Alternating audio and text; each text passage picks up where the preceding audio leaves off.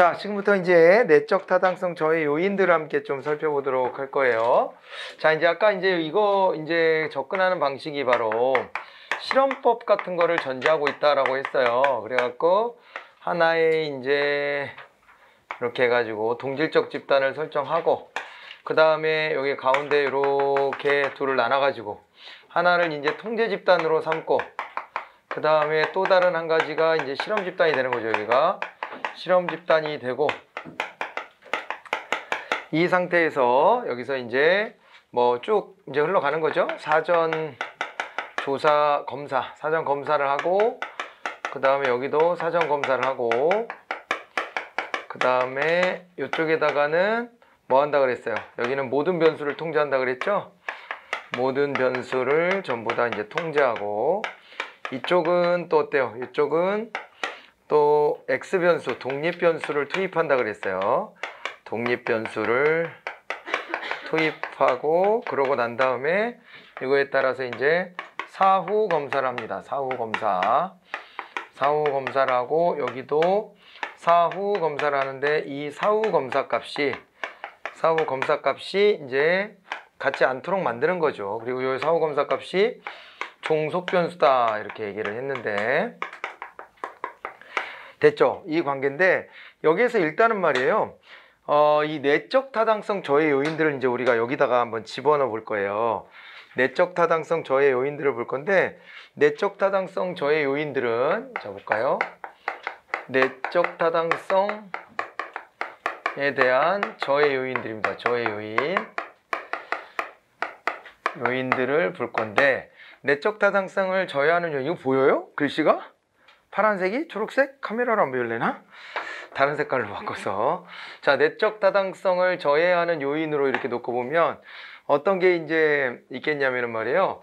애시당초부터 이 통제 집단 실험 집단을 구분을 잘해야 되는데 이거 자체 구분을 제대로 못 해낸 거예요. 그런 오류가 있을 수 있겠죠 예, 그래갖고 어, 여기서 이제 외재적 요인이 요 하나인데 외재적 요인으로 해가지고 뭐냐면은요 여기에 이제 선발 요인이라고 하는 게 있어요. 선발 요인이라고 하는 게 있습니다. 선발 요인. 선발 자체를 잘못한 거예요. 통제 집단과 실험 집단의 구성 자체를 잘못한 경우가 있어요.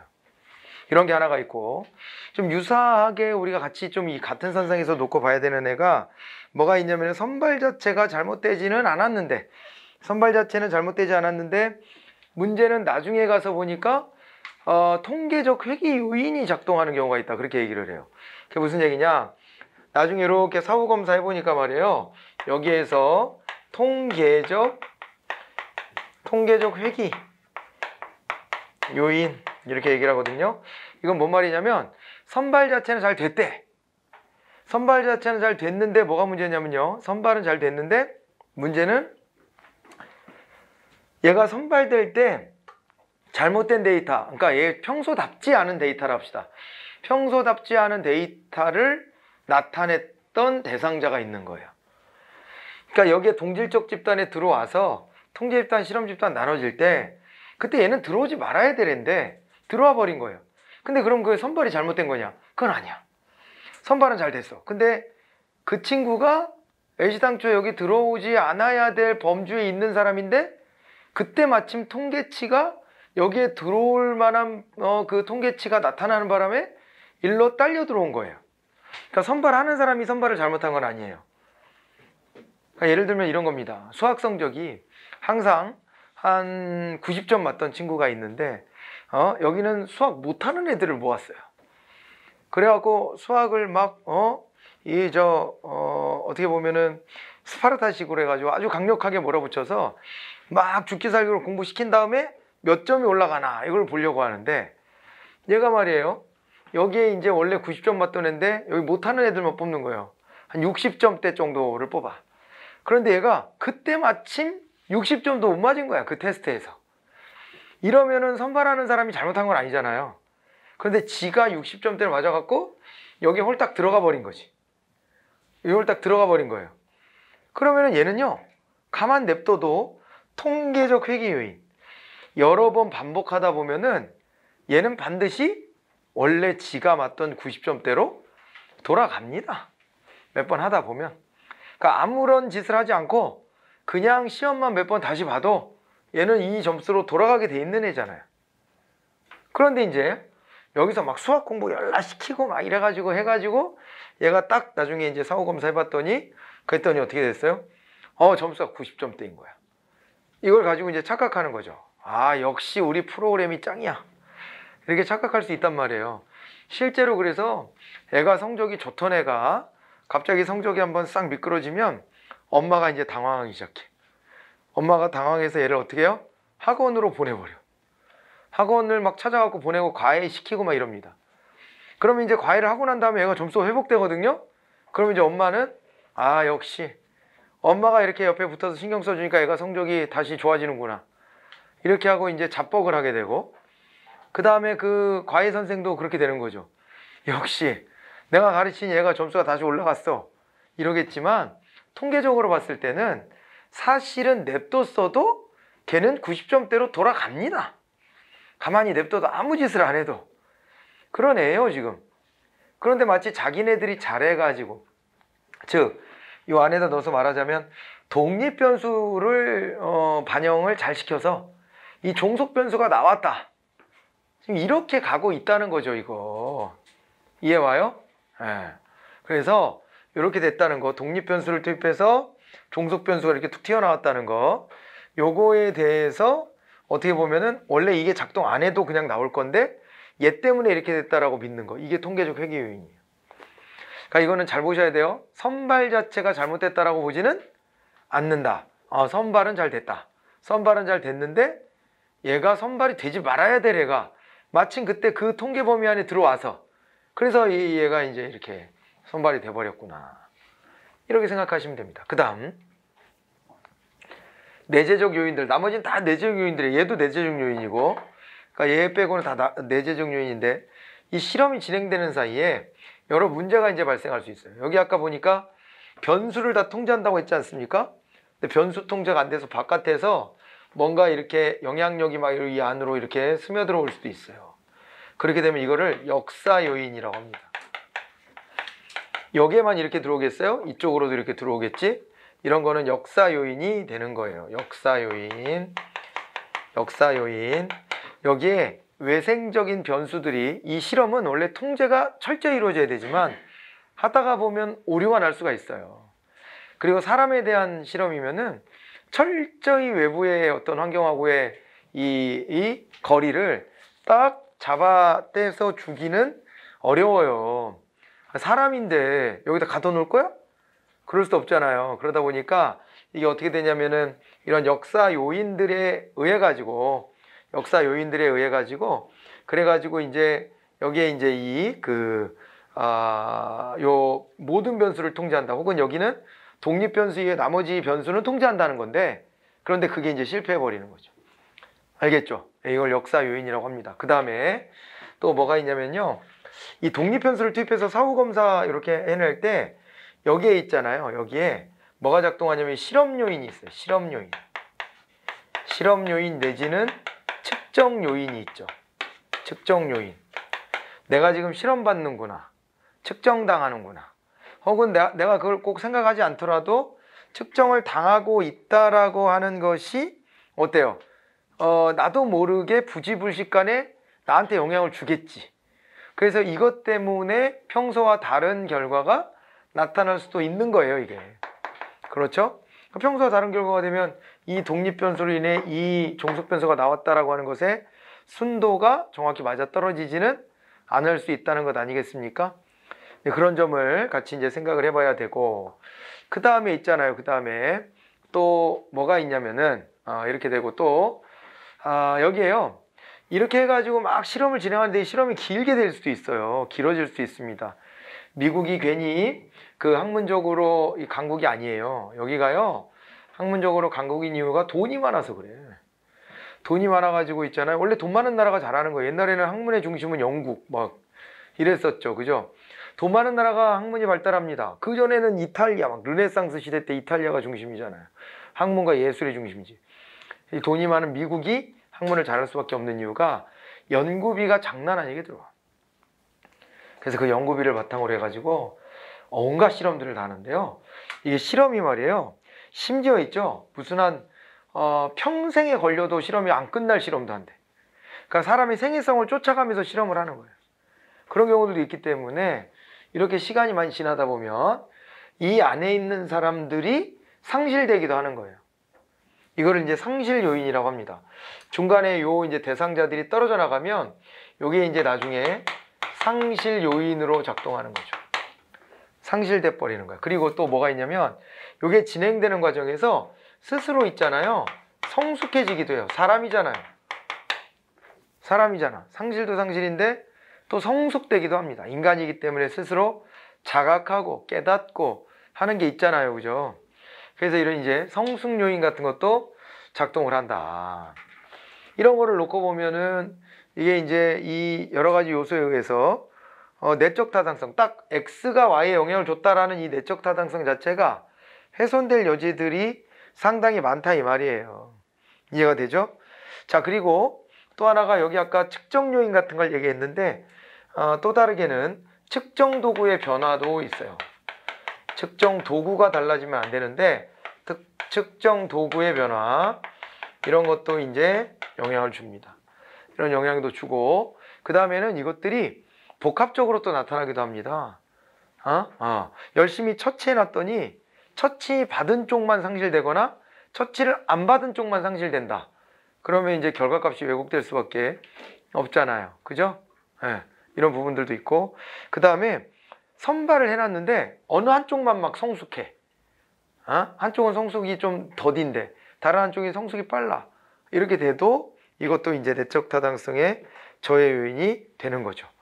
이런 식으로 해가지고 어, 내적 타당성 저해 요인들을 보시고 이번에는 말이에요. 이걸 끌고 나와서 외적 타당성의 저해 요인 한번 볼게요. 외적 타당성의 저해 요인들도 있다. 이 외적 타당성의 저해 요인에는 그럼 뭐가 있냐? 이거는 논리 구조를 어떻게 해야 되냐면요. 내적 타당성을 확보했다 손 치더라도 치더라도 그것은 이렇게 특정한 어떤 실험의 상황에서 나온 결과잖아요. 그죠? 실험을 통한 측정의 결과. 실험을 통한 측정의 결과인데 이 실험을 통한 측정의 결과를 어, 외적 타당성은 뭐였죠? 외적 타당성이 참 요게 외적 타당성이라는 게 아까 일반화라 그랬잖아요. 일반화. 일반화라고 했는데 이런 어떤 실험을 통해서 측정해서 이렇게 나타난 결과를 갖다가 어, 떻게 일반화할 수 있는가? 이게 일반화하는 것이 가능하니? 뭐 이런 질문이에요. 이게 가능해? 이런 질문을 항상 던지시면 돼요, 여기다가. 알겠죠? 그래갖고 여기에 나오는 게 이제 바로 뭐냐면 가능하냐 이 질문에 이 질문을 던져서 논리를 성립시키시면 되는데 여기에 들어가는 게 다섯 가지가 있어요. 대, 호, 실, 크, 다. 대호, 실, 크다. 큰 호랑이를 실제로 보니까 크다. 이렇게 해서 기억을 또 한번 하는 겁니다. 알겠죠? 외적 타당성이니까 어, 바깥에서 큰 호랑이를 봤더니 실제로 큰데 뭐 이렇게 그죠? 예. 이렇게 해가지고 다섯 가지 외워버리는 거야. 그럼 요거 나머지는 다 뭐가 되냐면 내적 타당성 조회윤이 보통 막 섞어서 낼 거 아니에요. 그럴 때 이제 얘네들 딱 솎아내는 것도 하나의 방법이 됩니다. 171페이지는 다 맞죠 이제? 넘어가서 외적 타당성의 어, 저의 요인을 어, 보시면 되는 겁니다. 자 여기서 보면은 일단은 대는 뭐냐면 대표성의 문제가 있어요. 대표성 문제. 여기 지금 실험 측정한 그 결과가 이 어? 다수의 이 사람들을 다 대표할 수 있는 표본이야? 이런 거죠. 여러분 이제 이런 거 할 때 실험 연구 같은 거 할 때 대표성의 확보가 매우 중요해요. 대표성의 확보. 대표성의 확보. 이게 예를 들어서 우리나라 청소년에 대해서 청소년들에게 뭐 폭력적 게임을 많이 보여줬더니 애들이 어 거기에서 어 중독 어 증상이 많이 나타나더라. 뭐 이런 식으로 만약에 실험을 해본다면 그러면 여기에 여기 들어온 애들도 우리나라 청소년이 고루고루 들어와야 돼요. 근데 여기를 갖다가 특정한 어떤 부류의 애들만 여기다 딱 집어넣어놔. 그러면 그걸 신뢰하기가 어려운 거예요. 맞아요? 어. 그래서 어, 그 결과값이 정확하다라고 말하기가 좀 어렵고 그게 왜 그러냐면은 이게 대표성 상실 때문에 그래요. 얘네들을 대상으로 어떤 특정 집단 애들만 놓고 실험해 봤을 때는 이 결과가 X로 인해서 나온 Y 값으로서 타당성이 있다 손 치더라도 내적 타당성이 있더라도 걔네들을 대상으로 한 걸 가지고 일반화할 수 있겠냐 다른 사람들한테도 적용할 수 있겠냐 이런 문제가 제기될 수 있다는 거죠 알겠죠? 대표성 문제. 자 요즘에 이제 그런 게 있어요. 문재인 대통령 지지도가 어, 30%대까지 나와 이제. 30%대까지. 그리고 이제 어, 그 처음이에요. 취임 후에. 30% 처음 나왔고. 그 다음에 또 저기 뭐예요? 민주당 지지도가 통합당 지지도에 밀렸대. 5차 범위긴 한데 통합당이 다시 앞섰대. 탄핵 이후 최초래. 그래가지고 막 언론에 막 나와요. 근데 그 조사기관은 주로 낮에 조사를 한대요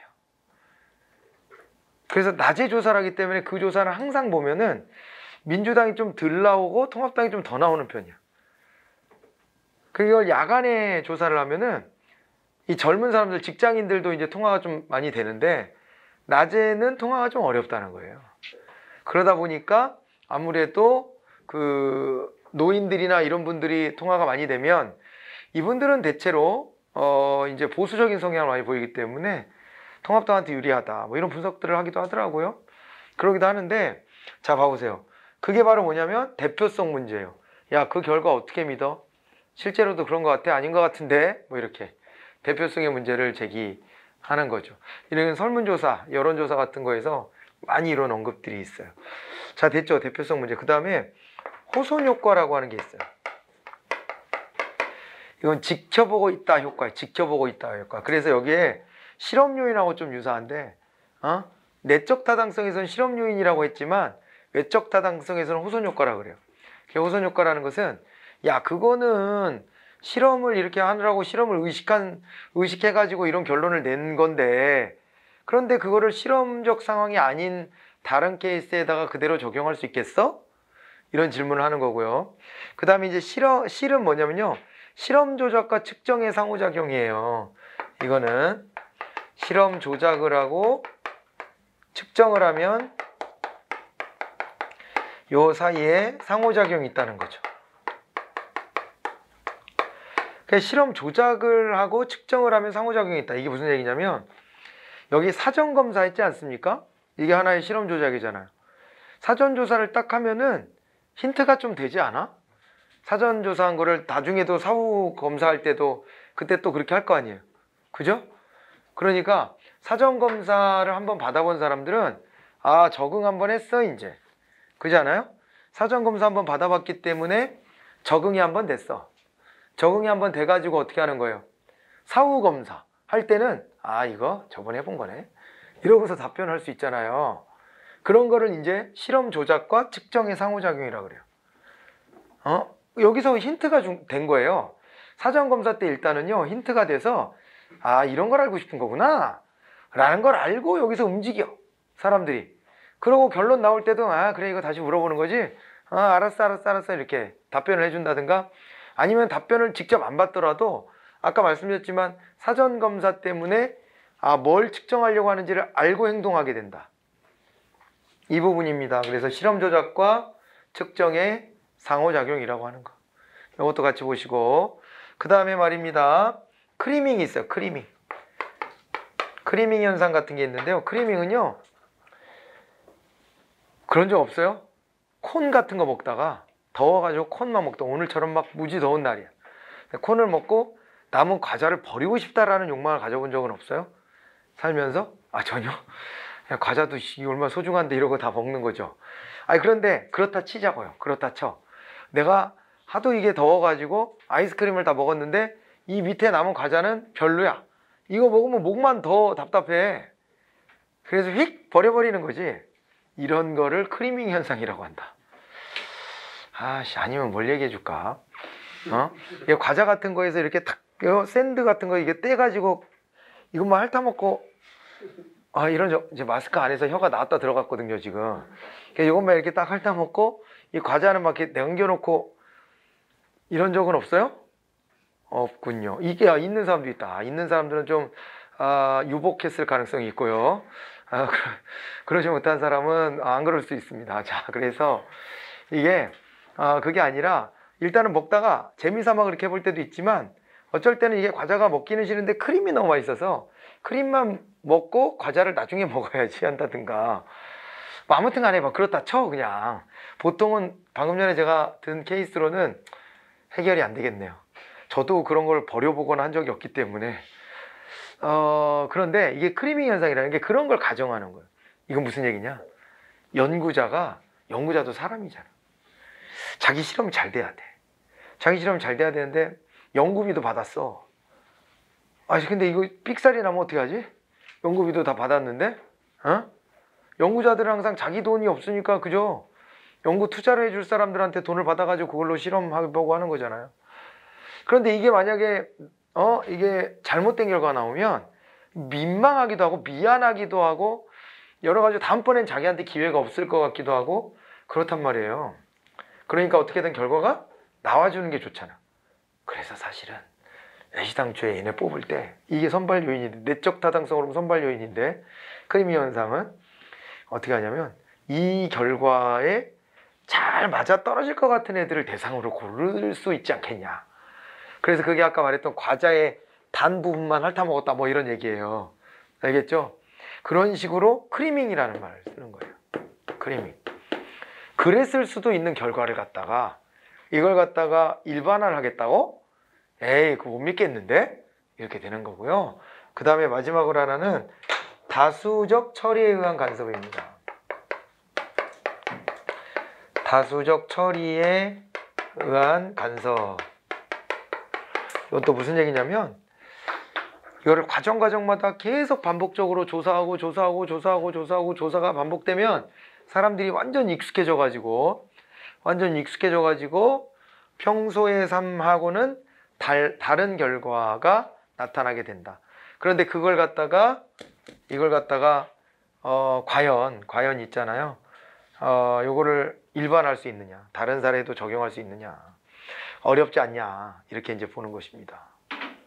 알겠죠, 이거? 네, 이렇게 해가지고 여기 이제 외적 타당성의 저의 요인들까지 함께 또 이렇게 들여다 보시면 좋겠습니다. 알겠죠? 외적 타당성 저의 요인. 자, 그래서 여기가 이제 172페이지에 그런 설명들이 이제 나와 있는 거예요. 나와 있는 것이고요. 자, 이제 다 얘기가 됐습니다. 얘기가 됐고요. 그런데 어, 요 얘기도 좀 해야 돼요. 내적 타당성하고 외적 타당성 있잖아요. 얘네 관계가 어떻게 되냐? 내적 타당성과 여기 외적 타당성하고 여기 이제 관계를 보면요. 상충성이 있대요. 상충성. 이게 뭔 말이냐면 이 상충성이 무슨 말이냐면 둘이 상충성이 있다는 게 자 봐봐요. 아, 우리 진실험이 있었고 그 다음에 준실험이 있었잖아요. 그랬을 적에 진실험법 같은 경우는 얘는요 내적 타당성이 높아요.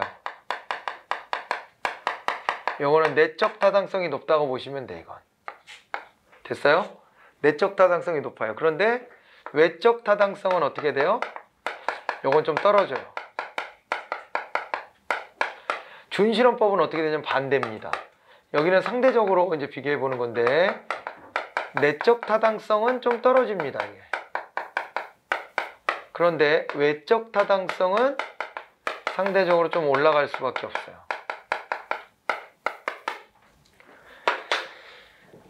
그렇습니다. 자, 음, 음, 우리나라에서 가장 잘생긴 사람이면 누구죠? 잘생긴 사람이 누구야? 뭐 그런 게 있을 수가 없지 원래는. 원래는 있을 수가 없는데 그런 식으로 막 얘기하잖아. 어디 뭐 연예 기사 이런 데서. 누가 제일 잘생긴 얼굴이다. 막 이런 거. 투표도 하고 막. 이상한 짓을 많이 해요. 그죠? 아무튼 그 잘생긴 사람을 뽑아봤더니 누구라고 할까? 여러분들이 좀 좋아하는 사람은 누구예요? 요즘에 젊은 배우 중에 뭐 없나? 그래만 박서준이라 하자 박서준. 박서준이라 해 박서준. 예, 박서준이 있어 박서준. 근데 박서준을 딱 보고서 박서준을 보고 어 한국 남자들 이렇게 다 잘생겼구나 이렇게 평가하면 동의가 돼요? 아, 일단 주위를 둘러보시면 되잖아. 주위를 둘러보고. 이게 동의가 좀 되는 상황이에요? 아닌 상황이에요? 아닌 거죠. 그죠? 어? 박서준만큼의 외모를, 외모와 키와 목소리와 뭐 이런 걸 가지고 태어나면은 글쎄 뭐가 부러울까 싶기도 한데 아무튼 간에 그러니까 그런 경우를 딱 놓고 봐봐요 박서준의 얼굴을 갖다 놓고 키 얼굴 뭐 이런 걸로 뭐 내면은 우리가 잘 모르니까 그러니까 그런 걸 가지고 막 이제 그 어? 막 다 측정을 해 이렇게 막 이렇게 해가지고 코의 길이는 얼마고 얼굴의 사이즈는 어떻게 되고 몸에서 그 얼굴의 비중은 뭐 어?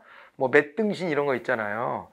이게 정말 팔 등신인지 어쩐지 또 따져보고 이렇게 막다 해. 팔 길이, 다리 길이 막 다 따졌어. 딱 그렇게 따져보고서 아 한국 남자는 다 이렇게 생겼다. 이러고 그걸 갑자기 일반화를 하려고 그래. 그럼 이게 돼요, 안 돼요? 안 되지. 그렇게 생긴 한국 남자는 너무 드물죠. 너무 드물어. 몇안 돼. 걔네들은 다 방송국에 모여 있다는 그 공통점이 있어요. 거의. 그러니까 그런 애들의 그 어떤 그 어? 신체 조건을 딱 다 재가지고 야 이게 한국 사람이 다 그래 이렇게 하면 안 된다는 거예요. 이거를 높이잖아요. 그럼 얘는 떨어지게 돼 있어. 이거를 높이면 거기에 꼭 맞는 사람을 찾기가 너무 어렵죠. 외적 타당성이 떨어지는 거야. 근데 박서준하고 저랑 공통점도 되게 많거든요. 저랑은 공통점이 되게 많아요. 눈도 두 개죠. 어? 그리고 뭐 어? 한국말도 할 줄 알아요. 한국말도 할 줄 알고 뭐 있잖아요. 몇 가지 공통점들이 있는데 그런 식으로 느슨한 공통점을 찾는 거야. 그러면 내적 타당성은 좀 떨어져. 그죠?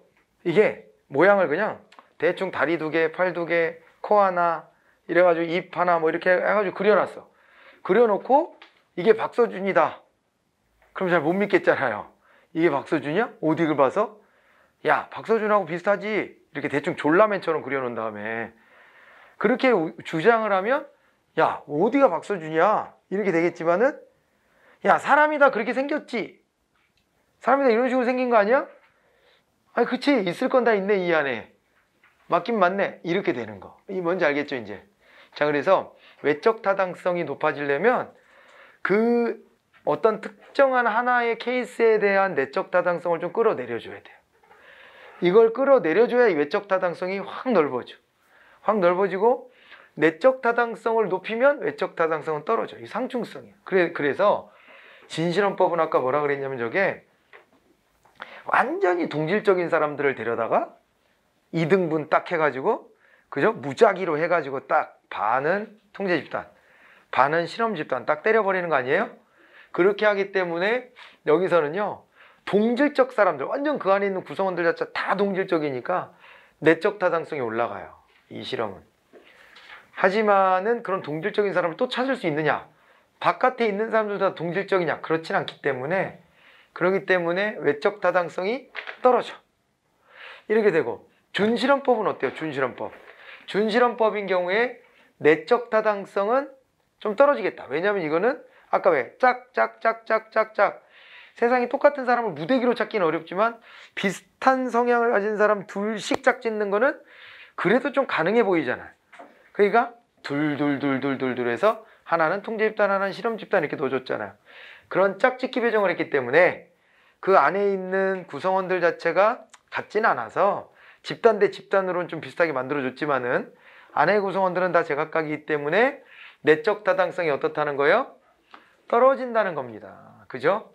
내적 타당성이 떨어진다는 것이요. 하지만은 이렇게 하면은 상대적으로 외적 타당성은 조금 올라갈 수 있겠죠.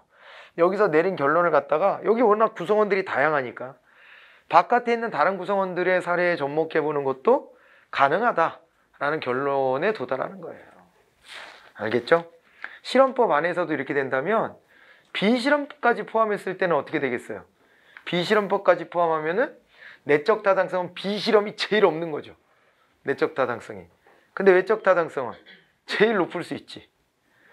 그렇게 해가지고 셋을 놓고 비교하면 또 그렇게 하시고 둘을 놓고 비교하면 얘네 둘이 상대적으로 이렇게 비교가 된다는 것까지 기억해 놓으시면 됩니다. 자, 됐죠? 이렇게 해가지고, 해가지고 이제 결론에 도달하시면 됩니다. 이 끝까지 쭉 따라와 보시면 되겠어요. 아셨죠? 자, 이렇게 해가지고 이제 마무리를 지어보고요.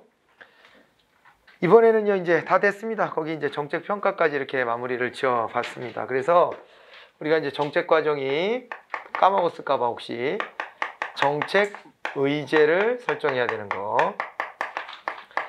정책 의제를 설정하고, 그 다음에 정책을 결정한 뒤, 그 다음에 정책을 집행하고, 그 다음에 이걸 바탕으로 정책 평가를 합니다. 정책 평가를 하는데 평가를 통해서 이렇게 뭐 이렇게 뭐가 돼요? 환류. 환류가 일어나고 그 다음에 어떻게 돼요? 정책 평가를 완료하고 아니면 이제 정책 종결로 들어가는 거죠.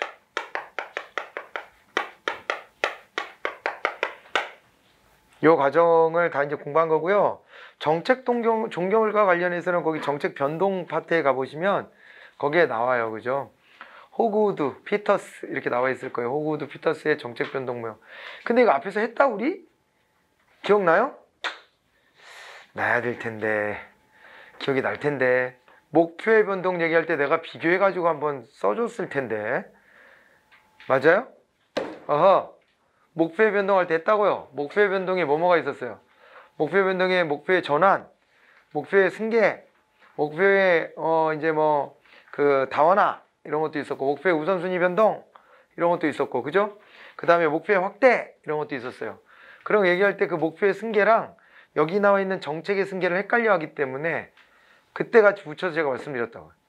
정책 전체를 놓고서 이제 정책의 변동을 어, 말하자면 거기에는 이제 뭐가 있어요? 정책의 어, 큰 틀에서의 변동을 보면 정책 혁신이라는 게 나와요. 정책 혁신.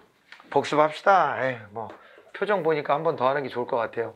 일단은 정책 변동이다 그랬을 때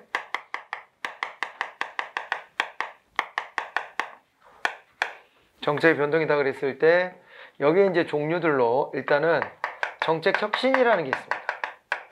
정책 혁신은 어떻게 된 거냐? 이건 있잖아요. 정책 목표하고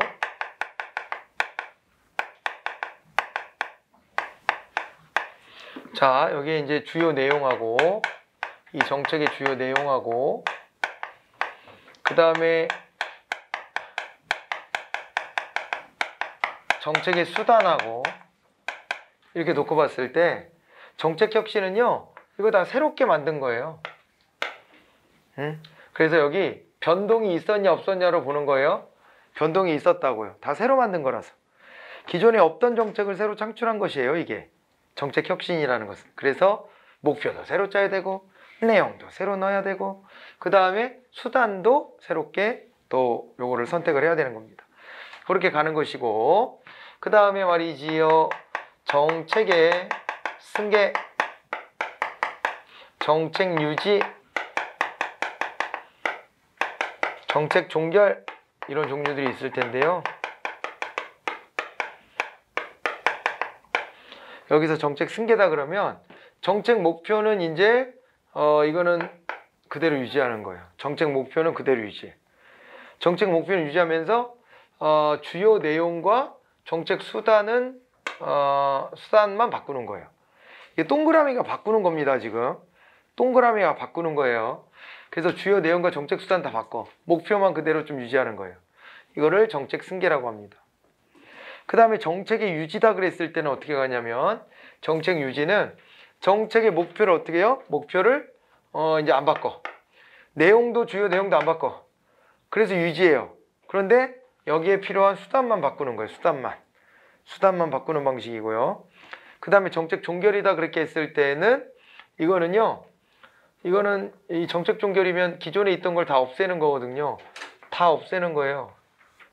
그러니까 이걸 이렇게 표시했지만은 여기는 다 새롭게 어떻게 하는 거예요? 새롭게 이제 형성하는 것이고 여기는 있잖아요. 여기는 이제 기존에 있던 것들을 모두 다 폐기하는 거예요. 그래서 변동이 있다라는 식으로 얘기하는 거예요. 어? 어. 그러니까 사실은 여기는 새롭게 다 만들었고 여기는 모두가 있던 모두 다 있던 것들을 싹 다 없애버렸고 이렇게 되는 정도입니다. 여기도 정책 승계랑 정책 유지에 대한 비교가 좀 필요한 부분이에요. 알겠죠? 자, 요 얘기까지 정리를 한번 해보고요. 끝으로 나와 있는 게 이제 뭐냐면은 그게 바로 이제 기획론이에요. 기획론. 기획론과 관련해서는 여기도 보니까 찬성론이 있고 찬성론이 있고 반대론이 있네요. 찬성론이 있고 반대론이 있는데 찬성론이다 그랬을 때 N은 찬성론이다 그랬을 때는 어, 이거는 누구냐면요 파이너 파이너의 반동의 길 이라는 것이 있고요. 그 다음에 반대로는 반대로는 이제 여기 하이에크가 있을 거예요. 하이에크의 노예로의 길 이렇게 되는 겁니다. 하이에크의 노예로의 길과 파이너의 반동의 길이 있어요. 그래서 이렇게 찬성론과 반대론으로 이제 나눠서 보는데 이게 순서는 이렇게 된 겁니다. 순서는 이렇게 됐어. 여기다 화살표 칠걸 그랬나? 이렇게. 그러니까 원래는 있잖아요. 자꾸 정부의 크기가 커지니까 어? 정부의 크기가 커지고 정부가 자꾸 이래라 저래라 이렇게 기준 잡아놓고 막 이렇게 하니까 그러니까 어떻게 하냐면은 하이에크가 신자유주의자예요. 대표적인 신자유주의자인데 하이에크가요. 야 이런 식으로 정부가 자꾸 끼어들고 그러면 우리 노예꼴을 못 면한다. 야 우리가 왜 혁명했는지 한번 생각해봐 옛날에 혁명한 게 국가가 맨날 간섭질하고 맨날 우리 세금이나 뜯어가고 말이야. 어? 우리 재산에도 함부로 손대고 그래가지고 우리가 그 노예적인 상황에서 벗어나기 위해서 혁명을 한 거 아니야? 그러고 그 자유주의가 지금까지 내려오고 있었는데 왜 다시 정부의 크기가 커지는 거냐고 도대체 이렇게 되면 우리가 다시 노예꼴을 못 면한다고 노예로의 길로 갈래? 정부가 자꾸 끼어들어서 기획 같은 거 하고 이런 거 나빠?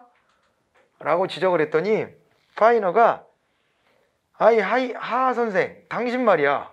이게 지금 이거 어? 옛날하고 조건이 똑같은 게 아니지 않소. 지금은 이제 우리 민주국가가 돼가지고 국민들에 의해서 다 통제를 받는 이런 정치 구조인데 아니 정부가 나서가지고 필요한 것들은 또 정부의 나름의 역할을 다 수행을 해줘야지. 이걸 갖다 무조건 안 된다고 하면 어? 그러면은 어 어떻게 하겠냐? 잘못된 것이다. 이래가지고 비판합니다. 비판하면서 이제 반동의 길. 예, 요 반동의 길. 요거를 가지고서 노예로의 길에 써 있는 거를 조목조목조목 반박한 책이에요. 그런 것도 가능합니다. 이 논문 같은 게 어떤 이론을 막 비판하는 거죠. 비판론. 비판을 막 하는 거예요. 예, 비판을 막 하는 거예요. 뭐, 예를 들면 그런 거 아니에요? 그 마르크스의 자본론 같은 것도 자본주의 이론을 따박따박 다 비판하는 거예요. 그게 안 되는 이유들을 막 다 쓰는 거지. 이렇게 그렇게 안 된다. 라고 하는 걸 막 다 썼던 것처럼 마찬가지인 겁니다. 여기서도 파이너가 반동의 길을 통해 가지고 하이에크의 노예로의 길을 따박따박 반박한 거예요. 따박따박.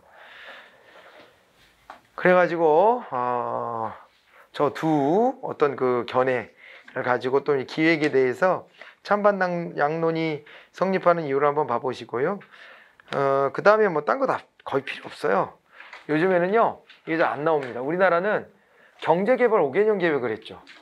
경제개발 5개년 계획. 이게 성공을 했어요. 경제개발 5개년 계획이. 그래갖고 이게 꽤 이제 오랫동안 이어졌었는데, 여러분들은 중고등학교 다닐 때 그런 거 배웠어요? 1차 경제개발 5개년 계획의 주요 내용. 2차 경제개발 5개년 계획에 안 배웠어요?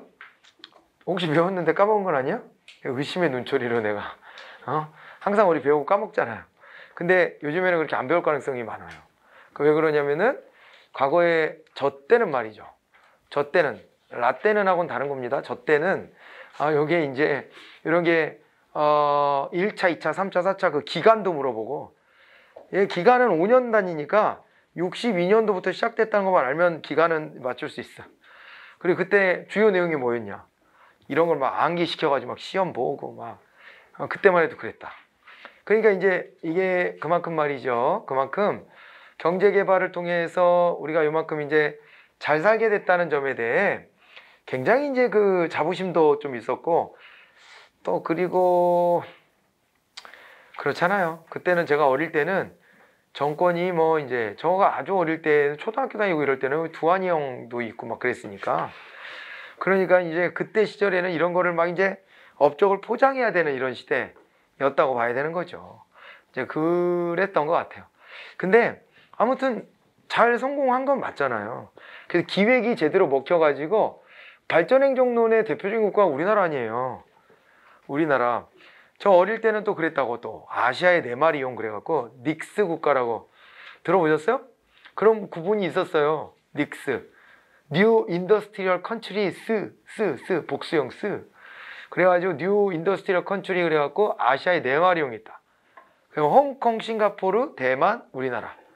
뭐 네 군데 다 잘 된 건 맞는데 그 중에 진짜 복합적인 측면에서 다 두루두루 잘 된 건 우리나라밖에 없죠. 그렇죠? 그러니까 이게 뭐 굳이 국뽕을 하자는 건 아니지만 우리나라에서 이렇게 기획이라고 하는 것에 대해서는 굉장히 긍정적으로 인식되어 왔던 측면이 있어요. 그리고 거기에 길들여져 있었죠. 길들여져 있어 갖고 이 재벌 기업들도 말입니다. 옛날부터 시키는 대로만 해가지고 이렇게 돈을 번 측면도 좀 있어서 그 국가 눈치를 많이 보고 그 다음에 지금은 많이 역전됐죠. 예, 근데 국가 눈치를 많이 보고 또 그 다음에 국가의 영향력이라는 게 지금도 완전 빠져서 없어지진 않았어요. 국가의 영향력도 좀 센 편이고 그런 게 좀 있습니다. 우리나라는. 그 기획에 대해서는 어, 이게 우리나라만큼 한타까리 한 나라가 없어서 기획에 관련해서는 우리나라에서 이 시험에 많이 나왔던 부분이지. 그랬던 거고 제가 이 대학 다닐 때에 이 행정학 그 전공에서 보면은 기획론이라는 게 아예 과목이 따로 있었어요. 따로. 과목이 하나야 이게 과목이 하나. 기획에 관련된 것만 막 공부하는 거예요. 그렇게까지도 했었지만 지금은 이제 시험에 안 나옵니다. 기획의 시대는 끝난 거예요. 응? 제가 이게 기회 되면 말씀드리는 건데 우리나라가 뭐 좋든 싫든 좋든 싫든 그런 어떤 그 개발 독재 시기를 거쳐서 경제 토대가 쌓여서 물적 토대가 이렇게 만들어져서 경제 성장을 하게 된 거는 엄연한 사실이에요. 엄연한 사실이고 어, 그렇게 됐지만은 만약에 87년도 6월 항쟁을 우리가 실패해 버렸다면 그래서 두한이 형이 한 번 더 해먹었다거나 어, 이런 식으로 독재가 연장됐다면은 우리나라는 남미의 그 어떤 나라들처럼 예, 남미가 보통 보면 강력한 대통령제 하다가 쟤네가 민주화가 안 되고 그래가지고 좀 엉망진창이거든요. 자원도 많고 막 이런 데들인데도.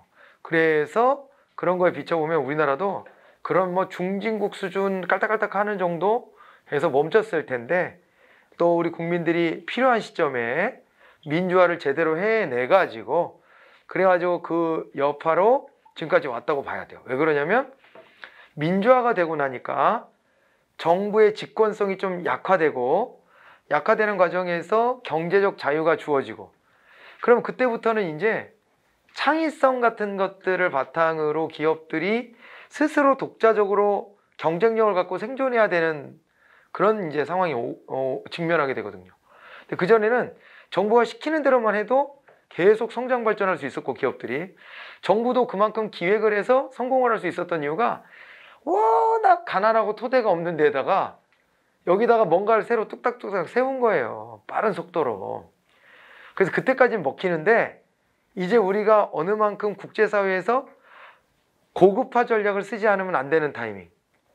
이때쯤이 되면 더 이상 경제 팽창을 하려면 이때는 무언가를 선도해 나가야 돼요. 세계 1위 뭐 이런 것도 하고 막 세계에 없던 것도 만들어내야 되고. 근데 그런 걸 하려면은 권위주의 독재 밑에서는 그거는 성공하기 어렵다고 보시면 돼. 그냥.